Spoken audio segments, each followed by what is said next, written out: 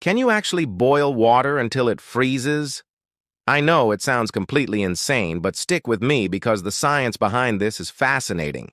This isn't something you can do in your kitchen, but in the near-perfect vacuum of space or a special lab chamber, things get weird. When you remove almost all the air, the boiling point of water drops dramatically. So the water starts to boil even at room temperature. But boiling is a cooling process. It carries away heat energy.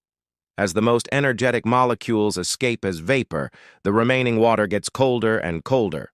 If you keep the vacuum going, the water will boil so vigorously that it loses heat incredibly fast. Eventually, it gets so cold that it reaches its freezing point.